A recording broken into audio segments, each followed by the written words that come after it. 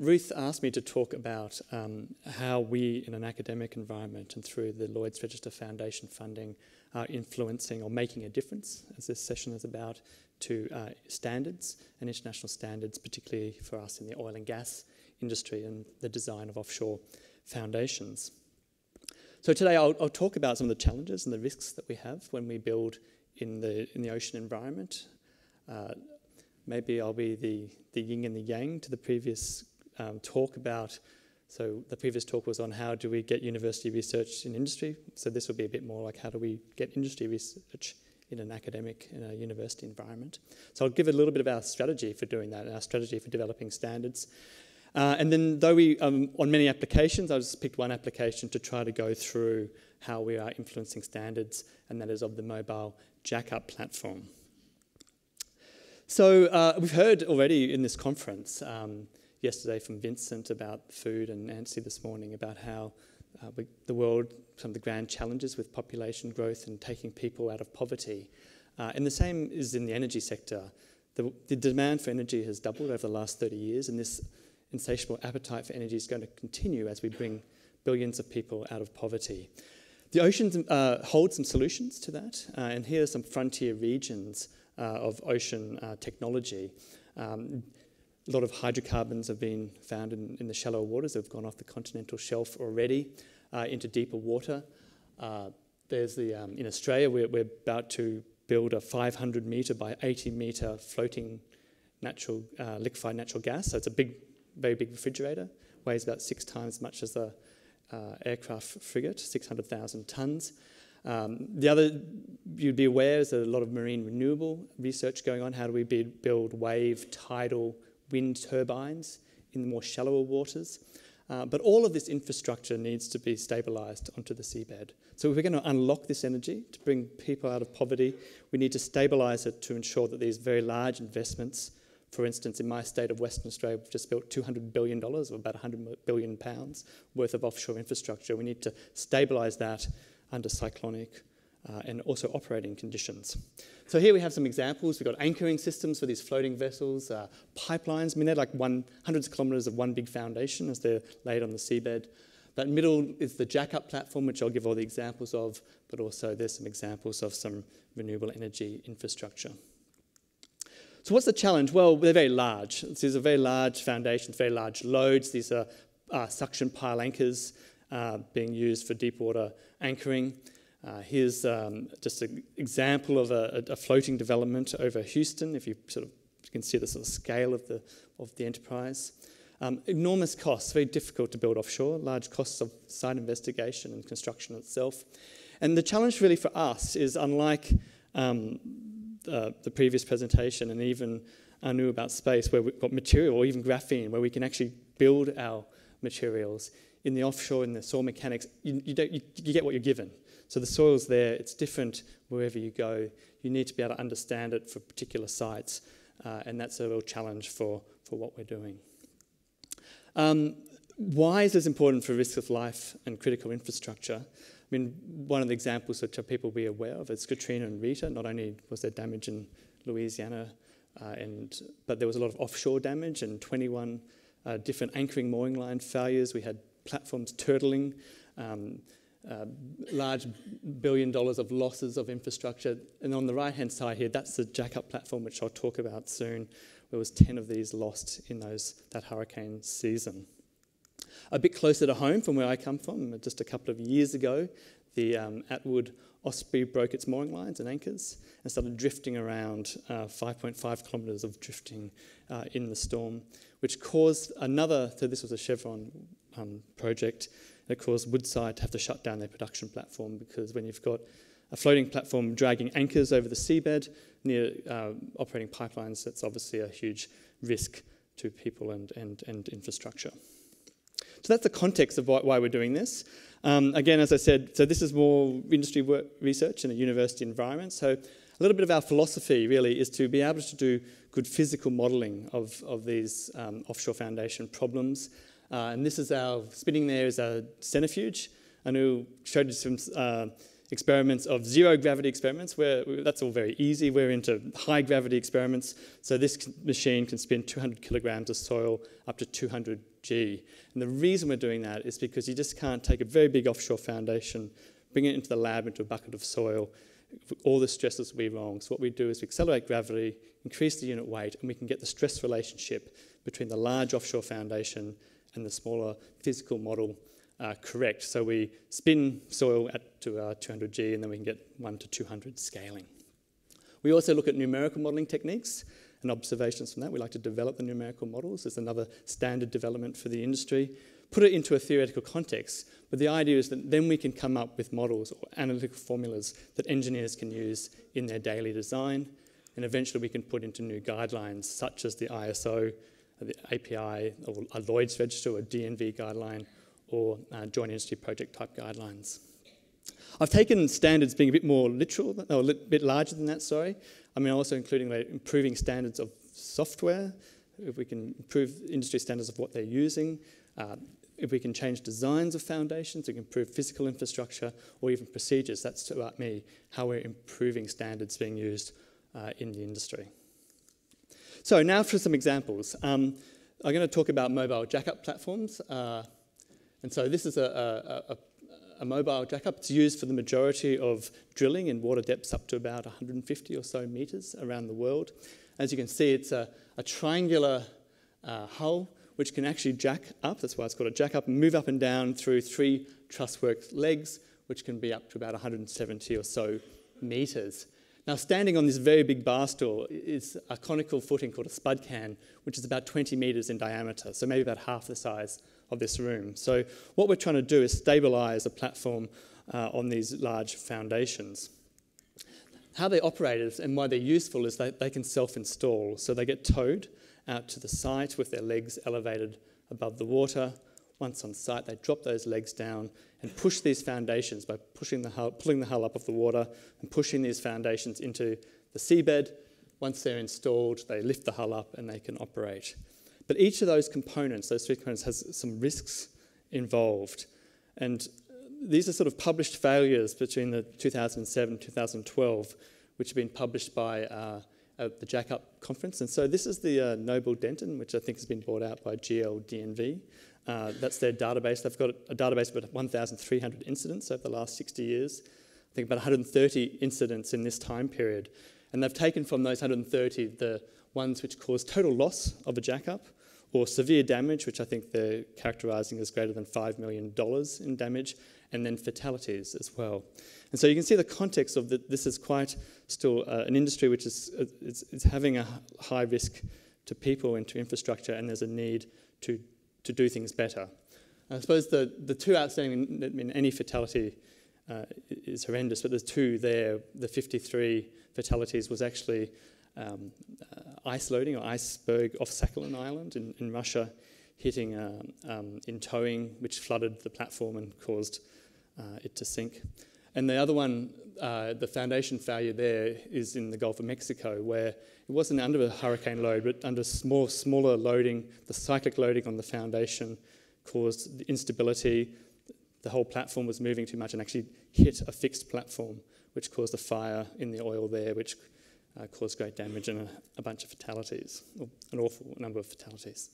Uh, I've highlighted in blue. These are the ones where really the work I'm talking about is going to influence. So installation is very difficult when you install this, as I'll, I'll go through what this is called, punch through, leg damage, and also on location. How do we know how, how much load, how much storm loading can these platforms take?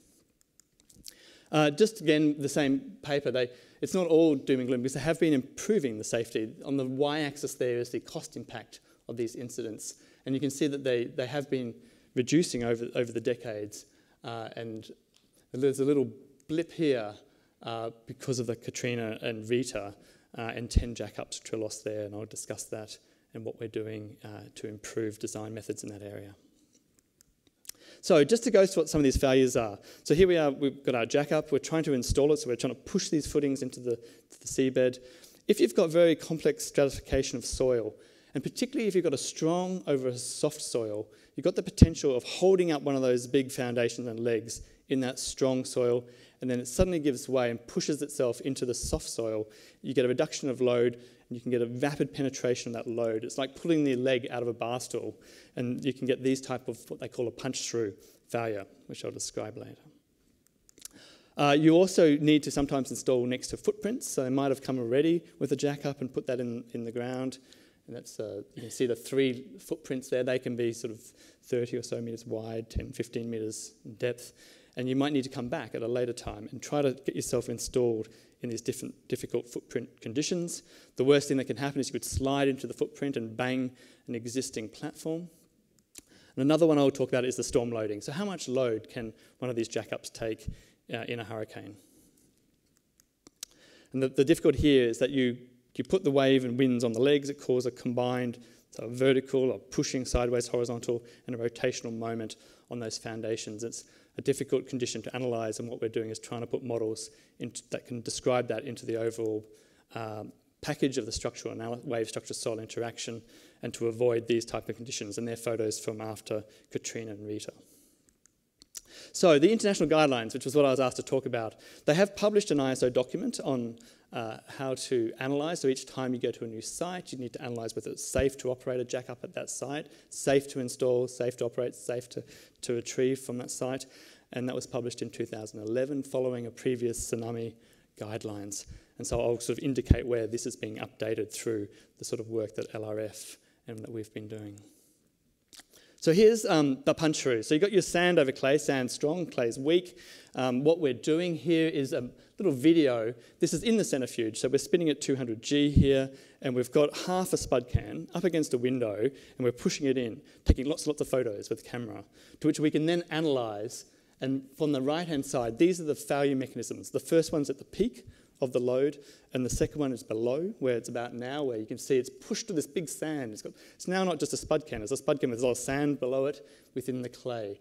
And you can see from this experiment, this would have plunged eight metres.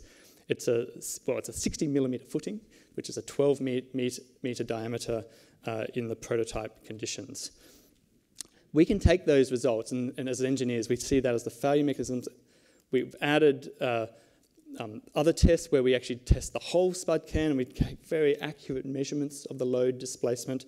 And we can, because we're in a modeling environment, we can look at lots of sand thickness, diameters, all the different parameters, different sand conditions, and get the testing conditions and, and, and analysis that we can then use to develop our formula.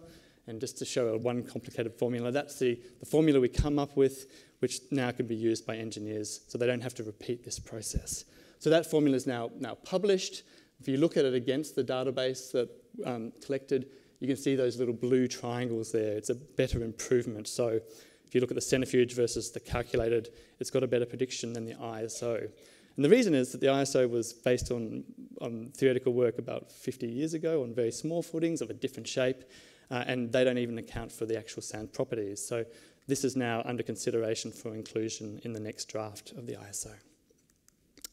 Um, just the current projects, we've got two PhD students, one's just finishing from the LRF, and this is now less about writing standards, but changing the way in which um, things might occur offshore. So what Stefanos has been doing is working with uh, um, Keppel FELS, the jackup builders, and Vanden, AP van den Berg, they build um, CPTs, which are cone penetrometer tests. So when we want to characterize soil, we push a big cone in. And what the standard at the moment is, you might go out a few months before, you'll do one of these tests, you'll analyse the data, work out what soil's there, do your load penetration curve, give that to the operator. What we're working on is that putting this uh, into the actual jackup itself. And so you might have done all of that beforehand. You come up on site, you bring your legs down, and then you push these cone penetrometers, I hope you can see that, through the spud can, and this is the final verification. So the, those companies are working on that, the hardware. We're working on the little block box that will sit on the, uh, the, the, programming, the theory behind it, so that when we get that CPT result, we can, without any human intervention, convert that to a load penetration curve. And really just to be a red flag. So if there's a difference between what they might have thought before and what's actually at that site, it sort of red flags the operator and they can go and do something about it or make sure they don't go avoid sort of punch through conditions. We've just started another PhD funded through the LRF, which I think is really exciting, which is a, I mean, the standard really is to just come up with one curve here of a load. That's a load penetration curve. And you can see it goes up and then down again. That's the sort of condition you're trying to worry about in punch through. Um, but all soil's different, all loading's different. Trying to put this in a probabilistic context to give people more information about what the risks here is what this project is about. So we can, so we might be worried about this peak, the depth, where it would be below, what that punch through distance might be. So the idea here is we can put sort of variability around it and come up with sort of contour plots of what that would be. And, and, and so then install that on the rig itself so people can have more information that they use. And, and, and even better still is as they're trying to penetrate this spud can, they're measuring what the loads are.